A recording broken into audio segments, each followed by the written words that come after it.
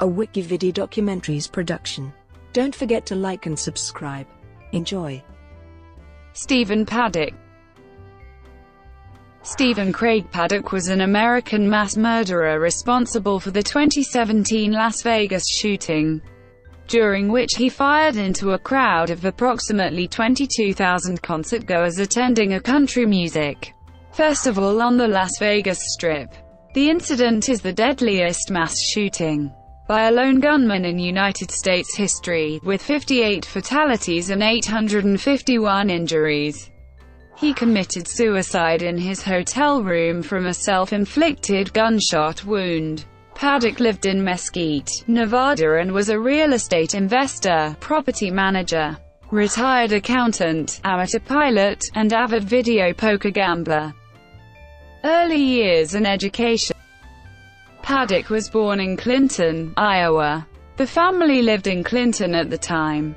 He grew up in Tucson, Arizona, and the Sun Valley neighborhood of Los Angeles, as the eldest of four sons of Benjamin Paddock. Benjamin was a bank robber who was arrested in 1960 when Stephen was seven years old.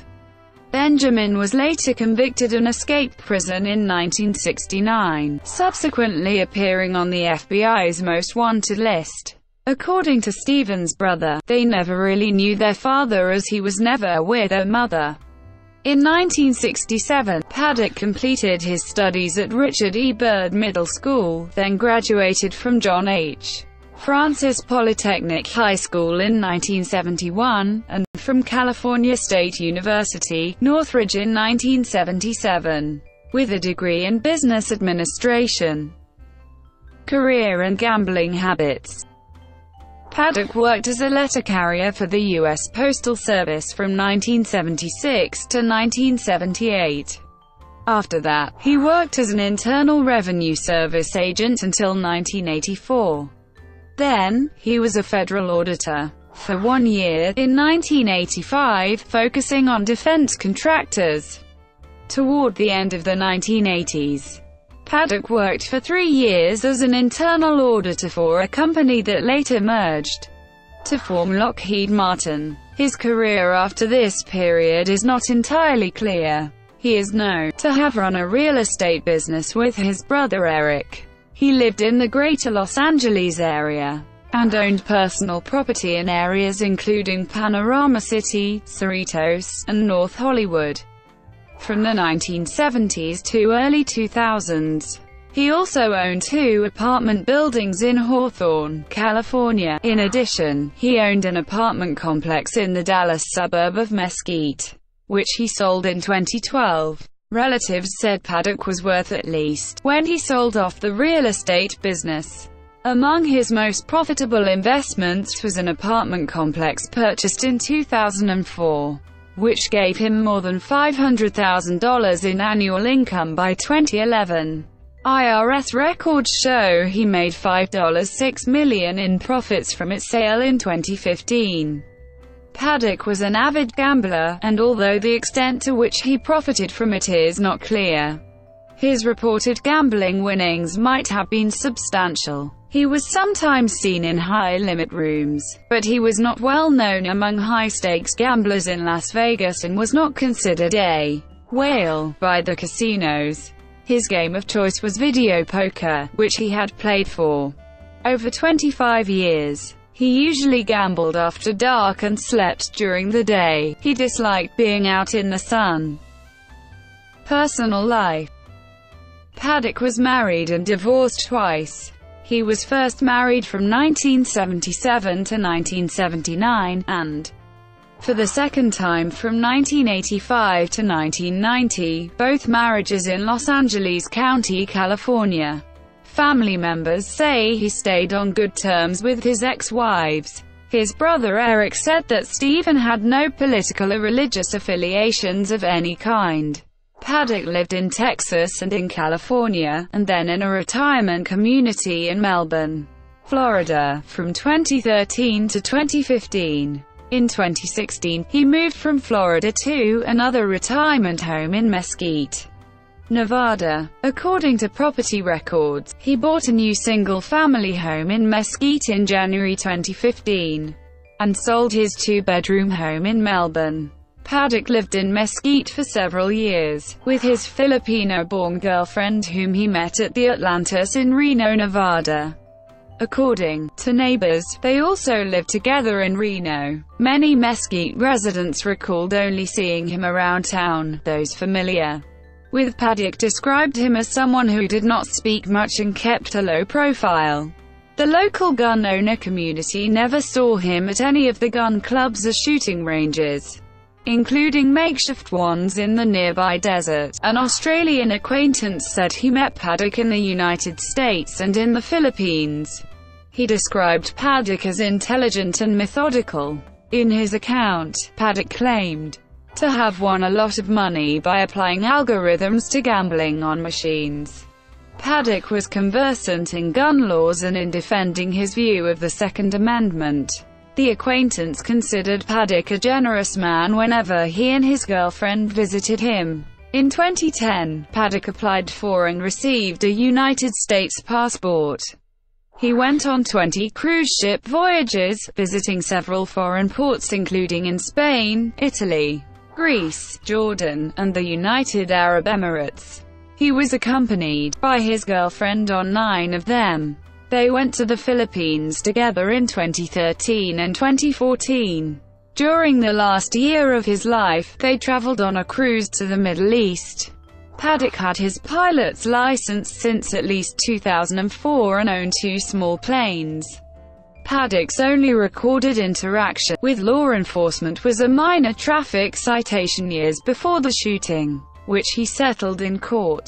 According to court records, Paddock also sued the Cosmopolitan of Las Vegas in September 2012, claiming he slipped and fell on an obstruction on the floor, and was injured as a result. The lawsuit was dismissed with prejudice in October 2014. Leading up to the shooting, during his last months, Paddock reportedly smelled of alcohol from early morning and was despondent according to others. He was reported to have filled prescriptions for the anti-anxiety drug Valium in 2013 and 2016, as well as the highest dose of 50 tablets 10 milligrams each in late June 2017.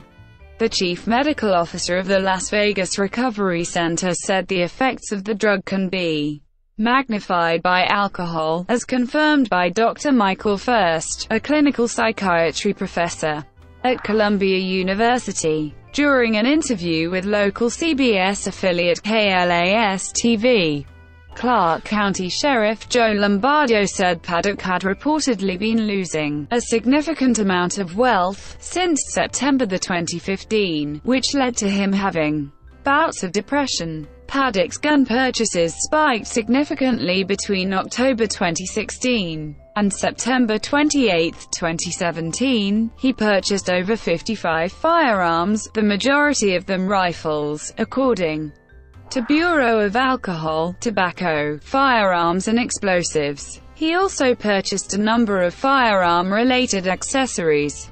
Prior to that, he purchased approximately 29 firearms between 1982 and September 2016, mainly handguns and shotguns. At his suggestion, two weeks before the attack, his girlfriend went to her native Philippines. Paddock bought her a surprise airline ticket, and soon later wired her $100,000 to buy a house there. He was spotted in Las Vegas, with another woman, reported by investigators to be a prostitute. It has been confirmed that she was not an accomplice and was not considered a suspect. Her name has not been released. Two days prior to the shooting, Paddock was recorded by a home surveillance system driving alone to an area for target practice located near his home. Las Vegas shooting On the night of October 1, 2017, at 10.05 p.m., Paddock opened fire from his hotel room onto a large crowd of concertgoers, at the Route 91 Harvest Music Festival on the Las Vegas Strip in Paradise, Nevada, killing 58 people and wounding 851 others. Paddock meticulously planned the attack. On September 25, six days before the shooting, he checked into a room on the 32nd floor of the Mandalay Bay Hotel with 10 range bags and a computer. On September 29, he moved into another suite connected to the first one. Both rooms overlooked the festival grounds. He stayed in both in the days leading up to the shooting. After Paddock killed himself, the police found 23 rifles and one handgun inside his room. They included 14.223 caliber AR-15 type rifles, 7.308 caliber AR-10 type rifles, 1.308 caliber Ruger American bolt-action rifle, and 1.38 caliber Smith, to a law enforcement source. His arsenal included a large quantity of ammunition in special high-capacity magazines, holding up to 75, or up to 100 cartridges each. Some of the rifles were resting on bipods, and were equipped with high-tech telescopic sights. All 14 AR-15 type rifles were outfitted with bump-fire stocks that allow semi-automatic rifles to fire rapidly, simulating fully automatic gunfire. Audio recordings of the attack indicated Paddock used these stocks to fire at the crowd in rapid succession. At some point during the attack on the concertgoers, at 10.05 p.m., Paddock, who had placed a baby monitor camera on a service cart outside his room fired about 200 rounds through his door. The shots wounded approaching hotel security guard Jesus Campos. The unarmed Campos had attempted to enter the 32nd floor first at 9.59 p.m. on an unrelated matter, but he found the door to the hallway screwed shut by Paddock. At 10.05 p.m., Paddock began firing thousands of rounds in rapid succession at the crowd of thousands below. He stopped shooting 10 minutes later at 10.15 p.m.